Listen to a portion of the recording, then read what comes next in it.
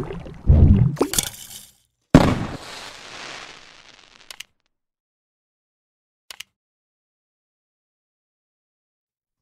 rahasia di balik senyum misterius Mona Lisa.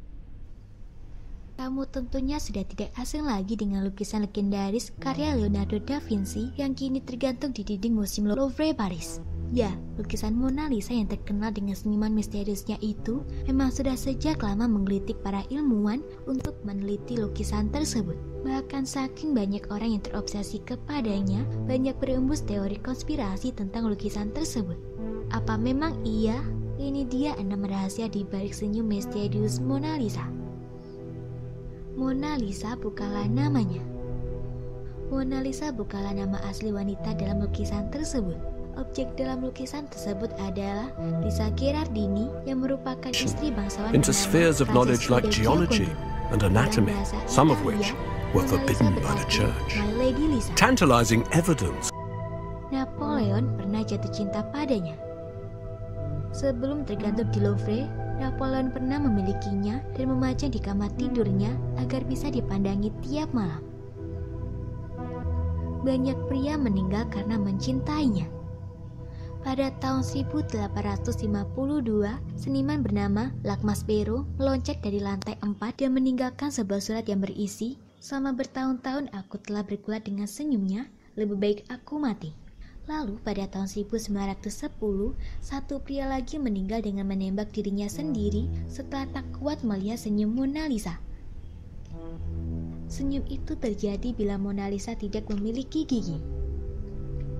Sebuah riset yang dilakukan dari tahun 1997 hingga 2001 yang dipimpin oleh Dr. Montgomery ahli forensik asal Inggris mengungkapkan bahwa Mona Lisa tidak dapat menutup mulutnya dengan pas karena dia mungkin telah kehilangan giginya. Senyum Mona Lisa bisa berubah.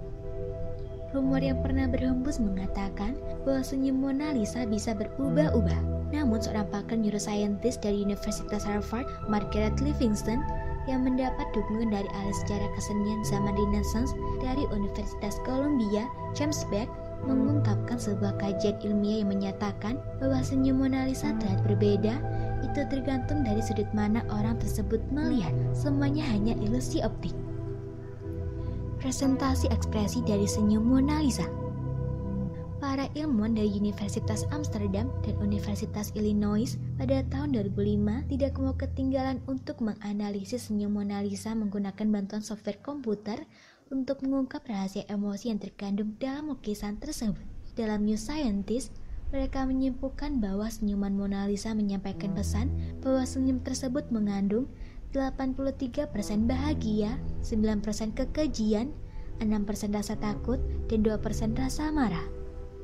Bagaimana menurut kalian?